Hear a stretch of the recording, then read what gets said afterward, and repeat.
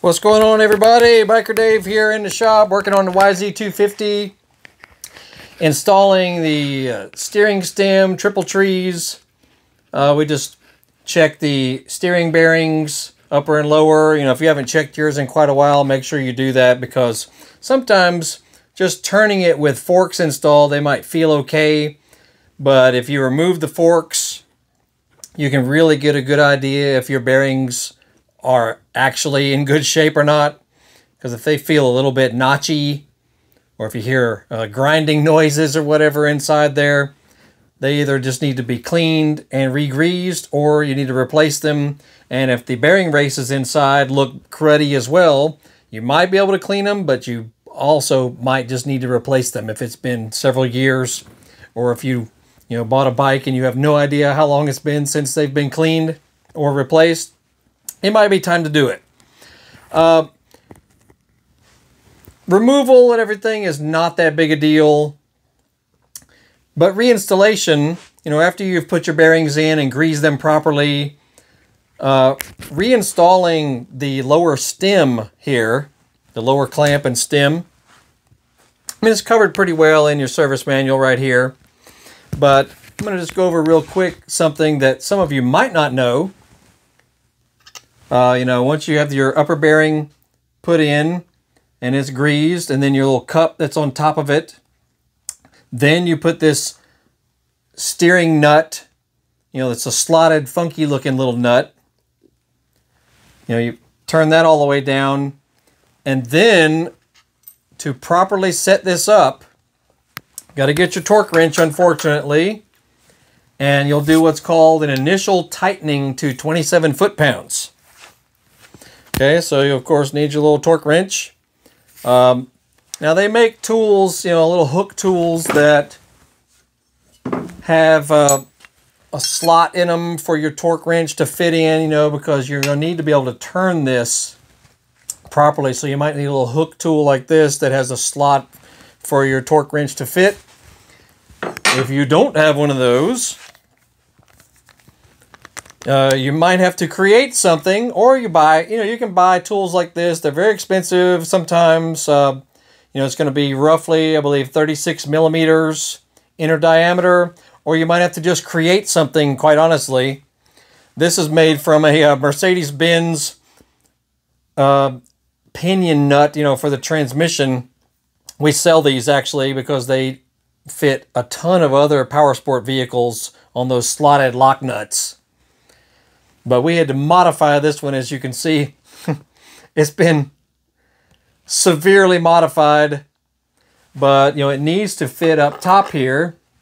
And this little sli slim washer will be the last piece that goes up top there.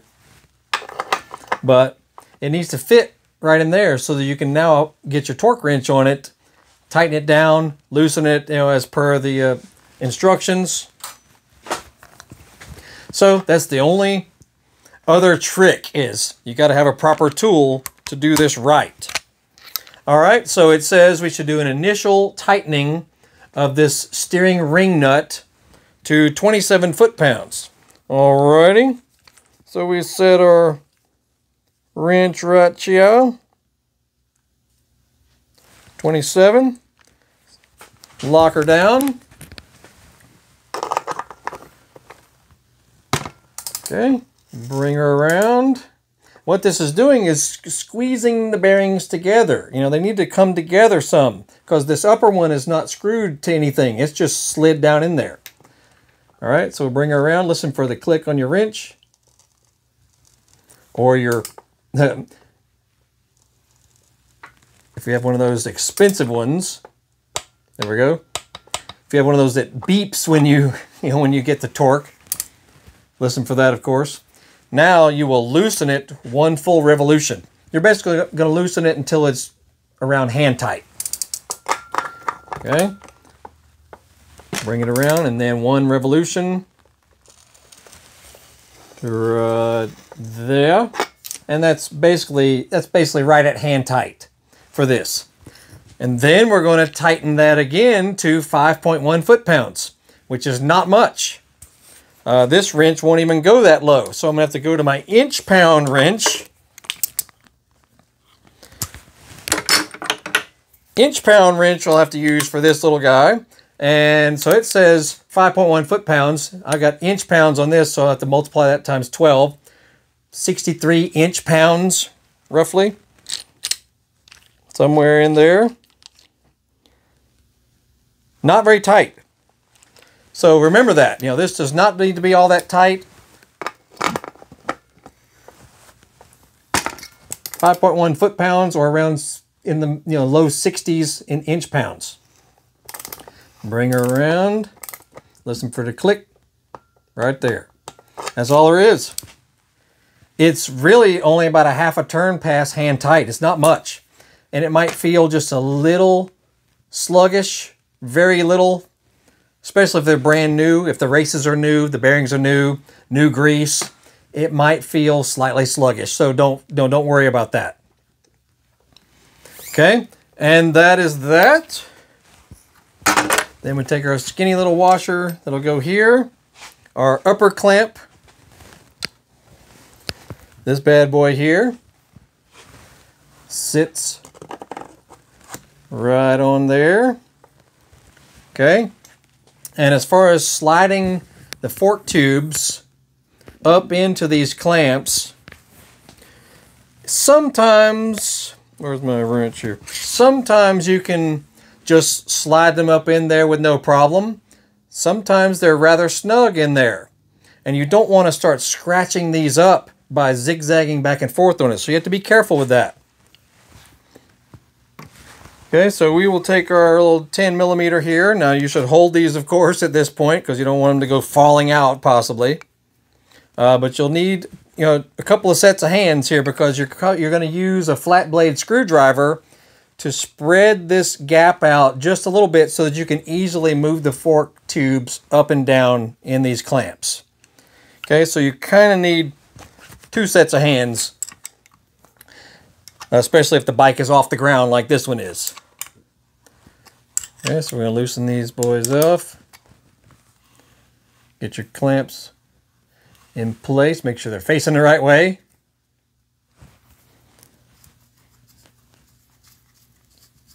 Okay, these are fairly loose now.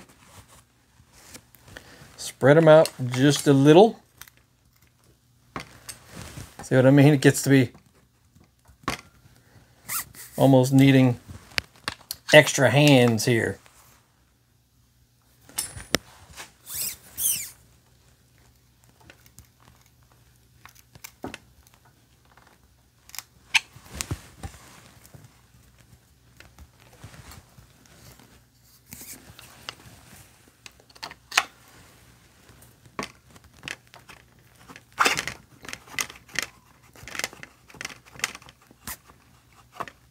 Okay, here we go.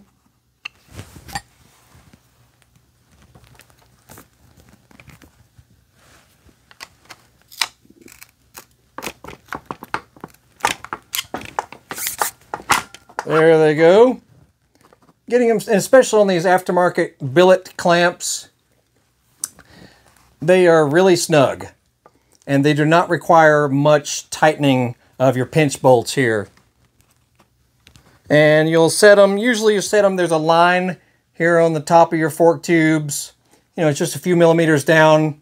Now some people set them differently depending on your needs or preferences, that sort of thing. But that's what the manual tells you. Basically line them up, I think it's around five millimeters down. And um, just gently tighten these guys for now you know, until you get the other one installed and get the front wheel installed and all that. All this needs to stay lightly tightened. And even when you finalize this installation, these pinch bolts are only to around 15 foot-pounds, which is not much. You know, it's not like you're trying to muscle them down in place. They need to be just tight enough. So that's around 15. And um, you just repeat it for the other side right here. No big deal. Uh, now, once you've gotten the forks installed, then you'll put the top nut here. And that one needs to be torqued down pretty good. That's the one with your big thick washer. This guy right here. You just set it in place.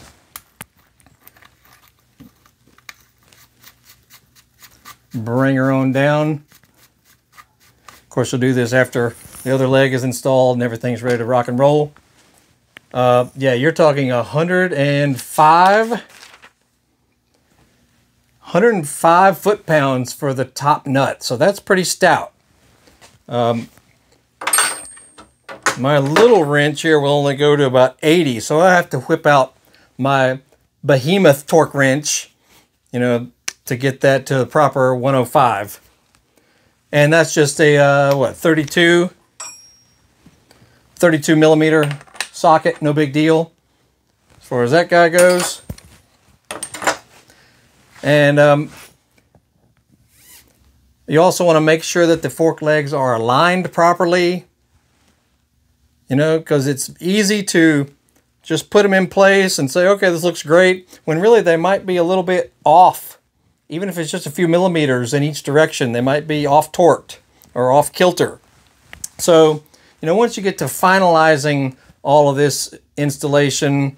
Go ahead and install your wheel, you know, get your axle put through, keep your pinch bolts just hand tight at first.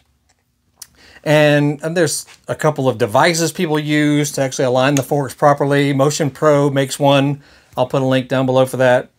Uh, I'm not quite ready yet to get to that right now as far as finalizing this install, but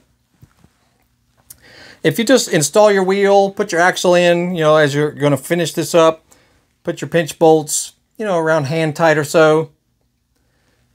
Then, you know, with the bike down on the ground, and all this is, you know, kind of hand tight as far as these pinch bolts here, hold your front brake lever and push down really sharply on the front forks, you know, from as if you were riding the bike. Push down real sharp on them.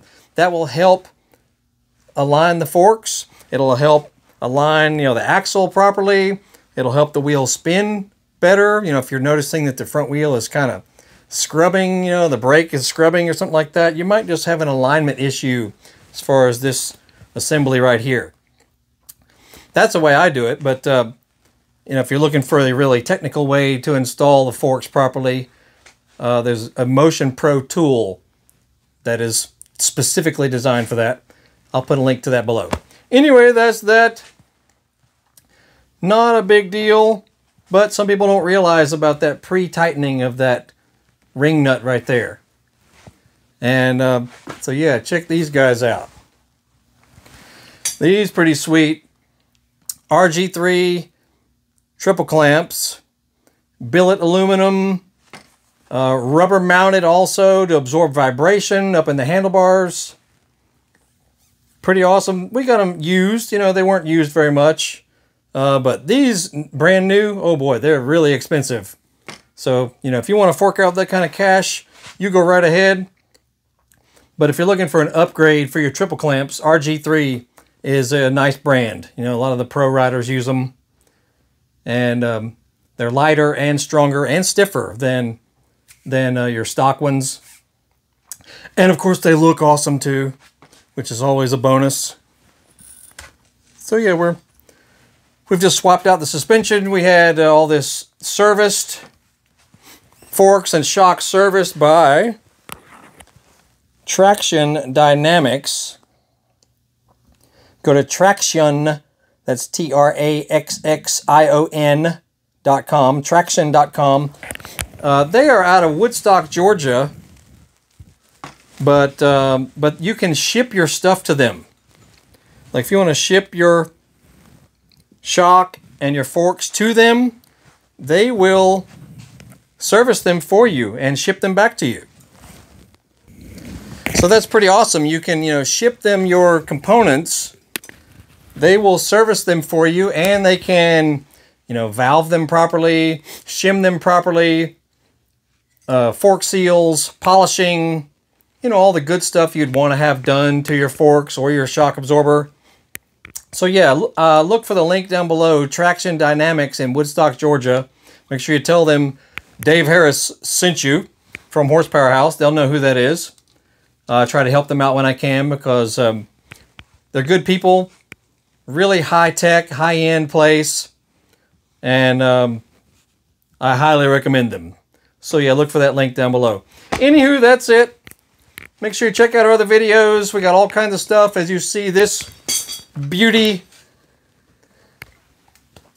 This is our YZ250 engine, which is actually a you know, YZ270.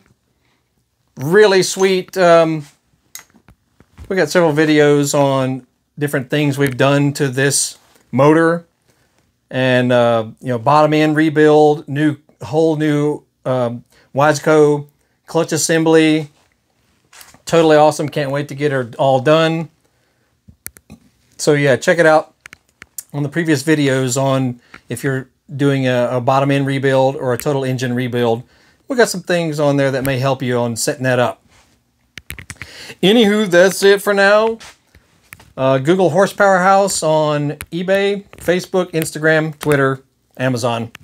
We have a online store for mostly specialty tools and parts for motorcycles, ATVs, dirt bikes, you know, power sport vehicles like that. So have a look. You might find some cool stuff that uh, you could use, and uh, we appreciate the business. And uh, New Year's Eve is right around the corner, so we hope you all have a good time. Don't party too much out there, and feel free to comment below if you have questions or anything on working on your bike. We'll try to help you or send you in the right direction. And that's it for now. So you'll have a great day. We shall see you all later.